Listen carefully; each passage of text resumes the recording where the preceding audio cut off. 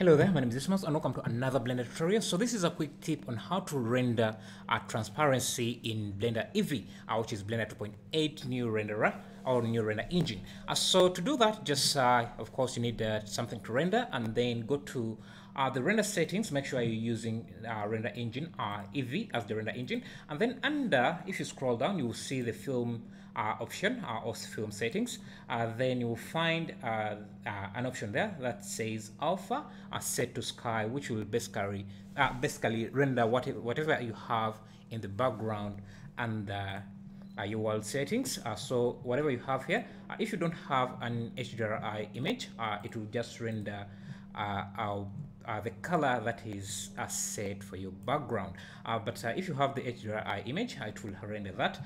so if you want to render transparency, you just change that from sky to transparency, and that should render transparency as you can see. Uh, even when you hit render, it should be rendering transparency. Uh, so if you have an animation and uh, you want to render animation as with a transparent background, uh, you need to make sure that you have uh, the output, the file format set to uh, a format that support transparency. So for example, if you have uh, JPEG, you can say it doesn't support transparency. And the way you know that uh, the, the format supports transparency is if it has RGBA.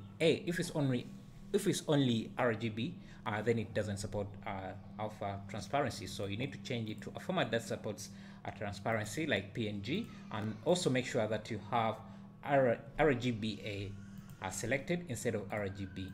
Uh, that way you can sub that that way you can render out uh, the alpha or the transparency as well.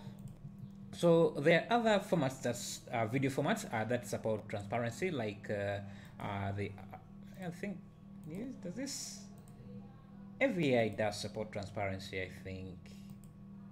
Yeah, but I would recommend you render out a PNG sequence or any other image sequence uh, that supposed transparency and then you can import it into a video editor like Premiere Pro and then put it uh, together. Because if you try to render out a video uh, and Blender crashes uh, then you will have lost all uh, the time you rendered. Uh, but if Blender crashes while you are exporting a PNG sequence you can stop you can start our whenever it crashed from. So yeah that's how you render transparency using uh, Blender Eevee. Thank you for watching. Uh, make sure to leave a like, subscribe, and uh, see you in the next video.